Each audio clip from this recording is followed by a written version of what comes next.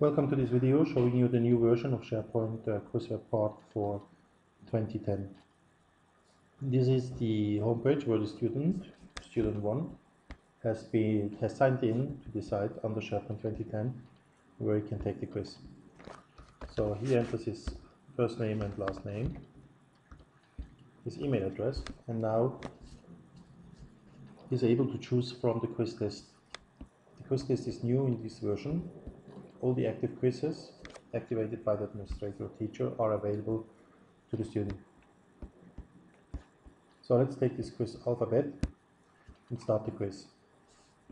New to this version is the exam duration settings. Administrator and teacher can limit the time for a quiz.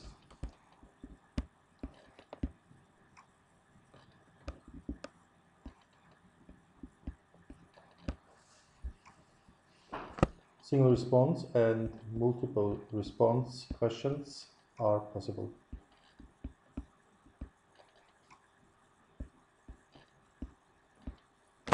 Finally, the student submits the, the quiz tests and a nice reporting showing him if he has failed or passed. So his score was 30 and he passed with this score.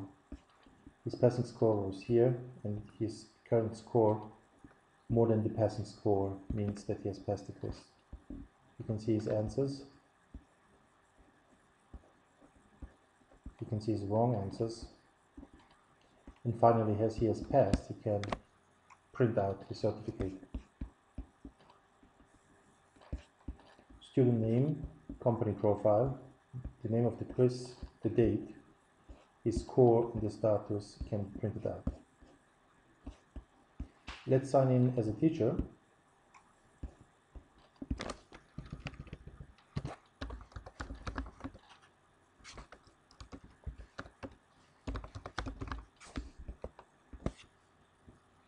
let's see.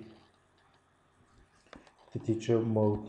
So we have the quiz itself with the different quizzes. Grouped by the quiz name. New quizzes new questions can be added easily through the interface.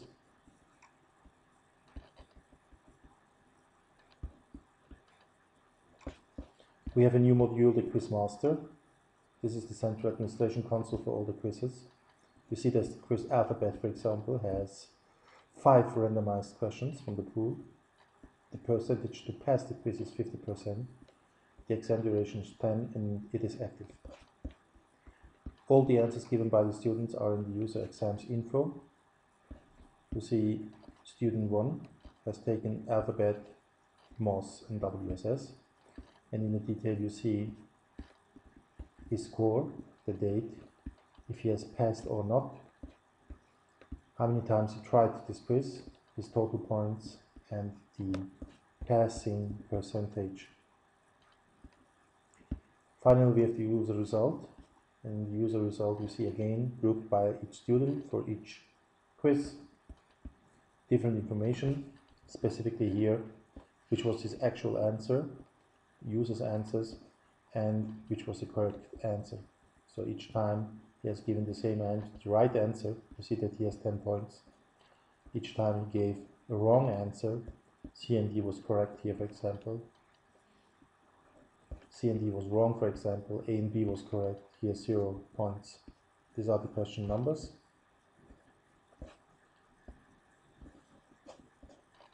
And the last picture library here is the here are the pictures for the quizzes where you can add and the CSS, web part CSS, which can be customized with the thumbnails and the icons.